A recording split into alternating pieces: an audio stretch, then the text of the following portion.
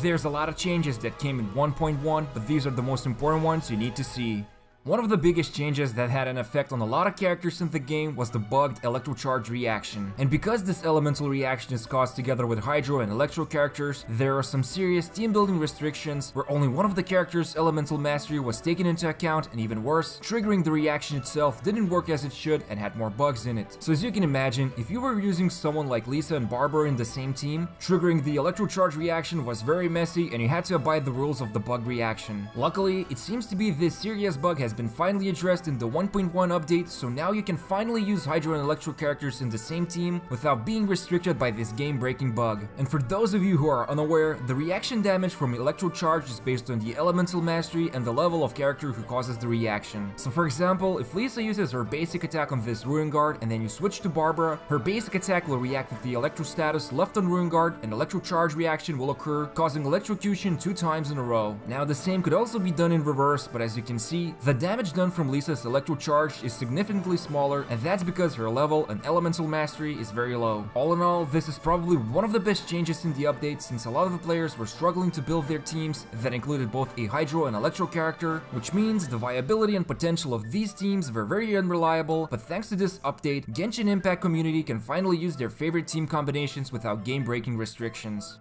Even though fighting Dvalin is a weekly activity, a lot of the players were not looking forward to facing this giant dragon, and the main reason why the community was dreading this weekly fight was because of the many bugs this dragon was using against the player. The first one included was the breath attack, that had an absurdly large range and escaping from it was nearly impossible, but now it appears this unfair attack has been finally fixed and you will have an easier time avoiding it. Now the other one was definitely the most rage-inducing, where after you climb on top of Dvalin, if you quickly switch to another character, you will be teleported back to the ground. Now this was probably one of the most extremely annoying bugs you could have and meant you had to play around it so most of the players had to switch their main damage dealer before climbing on top of Dvalin so that they could unleash only one source of damage before the dragon knocks them off. This also meant that players were unable to fully utilize elemental reactions since this required switching to a different character and getting teleported back to the ground was one of the most evil ways to punish the player who wants to capitalize on game's mechanics. And after extensive testing, it appears to be that the bug was partially fixed or at least the teleportation occurs less than before, which means you're still risking if you want to switch between characters when on top of Dvalin, and even if the bug was addressed, it's still highly advised for you to tread carefully. So the main takeaway is that the fight is definitely more easier, yet still unstable, and hopefully by the next update we can fight Dvalin bug-free.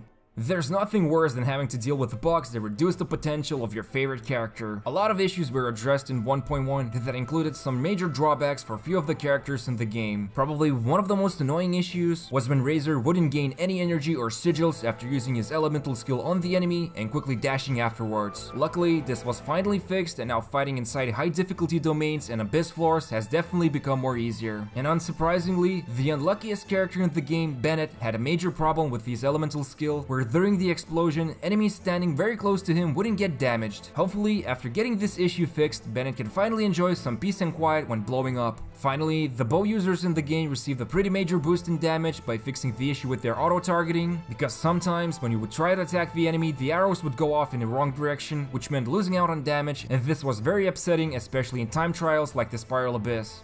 A lot of players were expecting the pre-registration rewards to go away once the update goes live, but it seems MiHoYo decided to leave the rewards open and even made things easier for new players coming into the game. This also means that rerolling is still possible for anyone who is interested, so if you're just starting out and you're not happy with the characters you received, you can still go back and start a new account, although some of the other rewards besides pre-registration might be excluded. Still, being greeted with a bundle of rewards is a good decision that developers have made and anyone who's new to the game can have an easier time, especially if they are free-to-play player. The last few changes have definitely made the game not only more enjoyable, but also more friendly to free-to-play players. Probably the most important revision was the decreased amount of resin that's required for the weekly Battle Pass mission. Instead of needing to spend 1,600 resin per week, the cost was reduced to 1,200, which comes out to roughly 171 resin per day. Now this still means the player needs to actively participate in the game in order to complete this mission, but at least you won't be forced to spend your fragile resins or primogems in order to reach this goal. However, when it comes to expeditions, there was nothing more dreadful than being locked out from using the character when sending them out, since this was a major problem for many of the free-to-play players, because they will naturally have a smaller pool of characters to choose from, and the fact that you were locked out from using the characters meant less experimenting or even worse, puzzle solving. And thankfully, no one will ever need to experience the nightmare of encountering a fire puzzle that can only be solved by Amber, who is on a 20 hour expedition with only 30 minutes remaining. So in summary, the Electrocharge elemental reaction finally got fixed and players will now be able to play their favorite Hydro and Electro characters without restrictions. And the fight with Dvalin has become somewhat easier, although not every bug was fixed when climbing on top of his head, but at least characters like Razor, Bennett, and anyone who uses a bow got nice boosts to their damage output. Finally, new players will still be able to redeem pre-registration rewards and free-to-play players can now enjoy using all of their characters without any expedition limitations, while at the same time, completing the weekly Resin Battle Pass missions have become easier.